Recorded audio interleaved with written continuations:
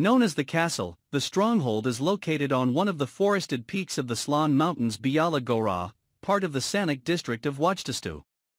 Until recently, the place was a mystery to scientists, because the only major archaeological research in the area was carried out half a century ago. But following a spate of illegal treasure hunts in the area, archaeologists decided to investigate.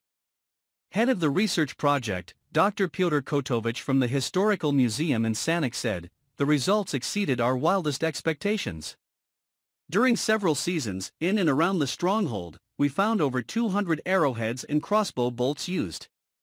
The objects come from the middle of the 14th century, and according to Dr. Kotowicz is not a coincidence. During that period the area was taken over by the Polish king Casimir the Great, which happened as a consequence of the death of Bolesław Trojdenowicz, the last prince of Ruthenian Galicia. He said, It seems that the arrowheads and bolts we discovered are evidence of the fights between the Ruthenians and the Poles.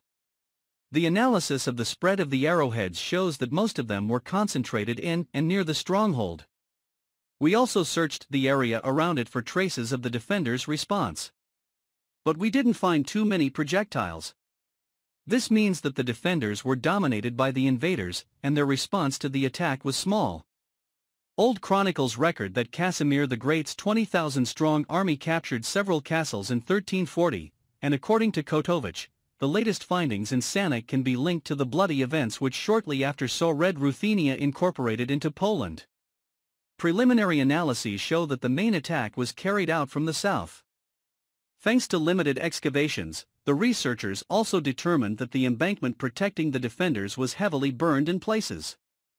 While searching for traces of the battle, archaeologists also stumbled upon numerous artifacts from the 9th to 10th centuries.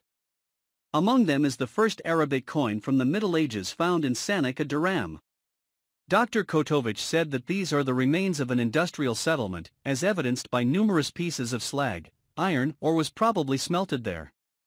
He said, It is surprising because in such early periods in this area people rarely ventured to areas located so high,